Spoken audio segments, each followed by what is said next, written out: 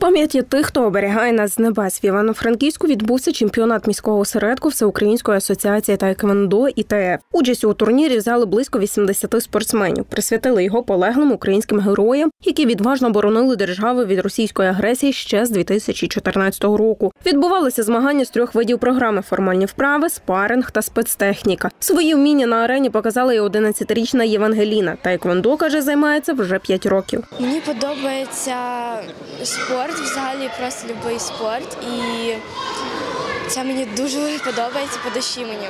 Ми приходимо в 6 вечора і потім ми починаємо бігати. І потім фізична підготовка і можуть бути спаринги. Дітям всім подобається. Я маю золоті, срібні і бронзові медалі, і два кубка.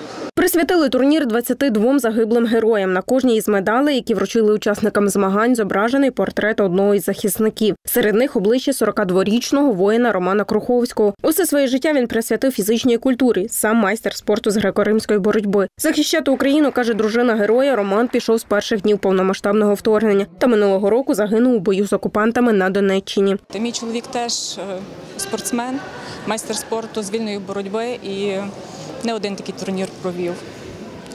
Я думаю, це важливо для наших героїв, щоб їх пам'ятали. Мій Роман віддавав повністю себе всього, всі свої знання, всі свої вміння.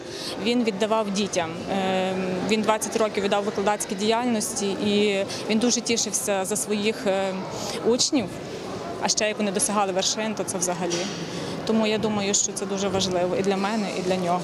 Війна України проти Росії, каже організатор змагань Сергій Данищук, триває з початку революції гідності і дотепер. Тому важливо пам'ятати кожного героя, який поклав своє життя за Україну, і вшановувати їхню пам'ять у таких символічних турнірах. Ми маємо пам'ятати людей, які віддали своє життя за нас, за Україну, щоб ми могли зараз е, стояти тут з вами, далі мирно жити. І цих людей ми маємо пам'ятати, ми має- маємо постійно їх згадувати. е, Ну, і проводити турніри, називати вулиці їхніми іменами.